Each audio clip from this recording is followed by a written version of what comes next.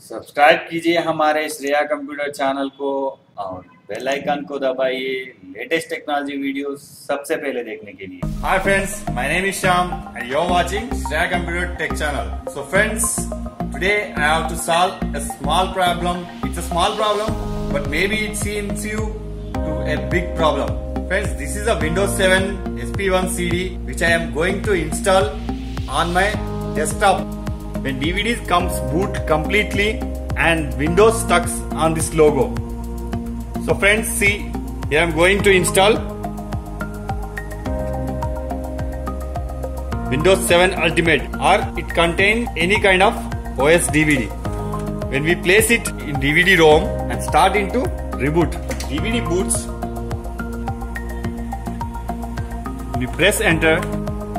I have made so many changes. Friends, this problem is not only mine. I thought this problem came to so many users. That's why I'm letting to put a video to how to solve this problem. When it finishes the loading Windows files, and it stuck on starting Windows logo. It cannot be forward or back. Constantly stayed in one logo. Even we are going to install a new OS or we are going to launch our existing OS. Friends, everything is fine in hardware, but why PC stuck on this logo? I try to solve in every condition. Even I try to solve this problem in BIOS. Even I put first boot CD-ROM and second boot hard disk, third boot removable. Even I set everything in BIOS, but it not work. It again stuck on when I placed startup repair, even it won't work. So finally here I got the answer.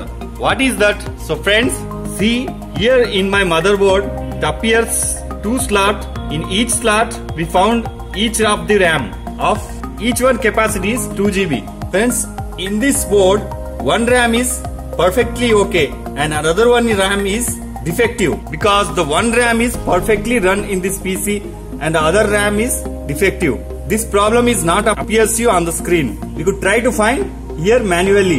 Even it not beeps you anything. So first of all friends, just power off your PC. Simple remove the defective RAM. After we remove the defective RAM and put it in a side. Let's we see with this trick and simply switch on. The fan is running and you are going to be start Windows normally. See friends, the Windows is booted normally. This is a small problem but we can make confuse how to solve this problem. Try this trick friends. If this work you, to make me in comments. In both of RAMs, one is defective and one is perfectly. So remove this RAM permanently. Even its work when you are going to install a fresh OS. It booted successfully and the Windows logo has been appeared. You can here install OS. So friends, hope you like this video. Please press on like button.